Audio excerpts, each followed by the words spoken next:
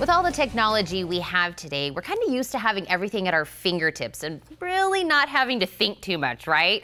Well, this next author says that we're losing basic life skills from it. It's actually causing us to procrastinate and put off for tomorrow what we should actually be doing today. And it actually takes away our ability to solve the problems we encounter. Dr. David Almeida is here to expand on this idea. Doctor, thank you so much for coming hey, in. Thanks for having me, Tina. And you talk a lot about decision procrastination.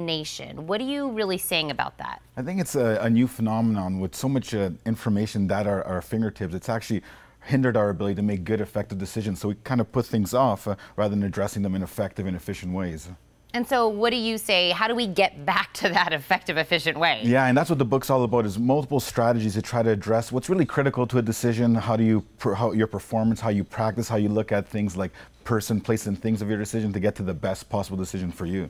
And I think we, maybe we all slipped into this without knowing we slipped into this, because I kind of mentioned technology and things that are at our fingertips. But what do you think is really the biggest barrier that's making us so ineffective? I think it's our attention span and, and our inability to sometimes really commit to what the decision is asking for us. That's the problem I find most commonly is that people have problems addressing the decision because they really don't know what that decision is asking of them. So uncovering those really key uh, aspects of it will really help you get to the bottom of it.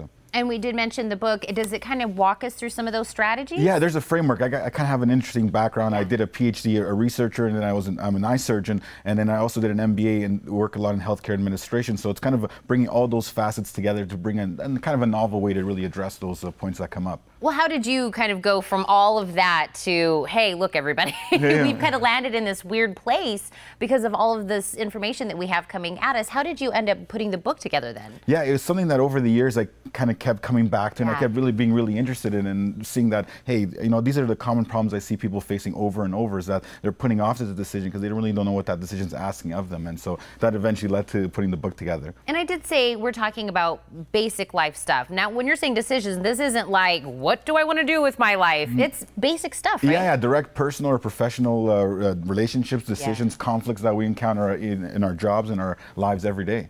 Is there something, I know we go through all these different strategies, but is there something we can leave our viewers with today that can be a tool we can use now? Yeah, triage. You know, not every decision demands everything from you right at that moment. We're so used to that inbox zero uh, phenomenon. We want to answer something. No, some things you can put off. Some things don't need your time. Your time's better served for some things that are more important. So prioritize and triage. We use that in medicine all the time. What things need are going to kill a patient right now or, right. need to be addressed. Triage your decisions the same way. So prioritize. Exactly. I love that you just said that that zero inbox thing that we're like we have to get to it. I can't have that notification sitting there looking at me. but I love that you address this uh, and you mentioned relationships, work, personal life. These decisions are in all facets of our life. It's not just one thing. Absolutely, yeah, and they take so much energy because we get kind of get conflicted, we're convoluted, we don't really know how to address them. So yeah, all aspects can benefit from better, efficient decisions. You know, and I, have I've joked before. I said, you know, what would I do without my smartphone? Having all the answers right right in front of me. And at some point, you don't have to make those decisions because you kind of can look it up, Google it, do whatever.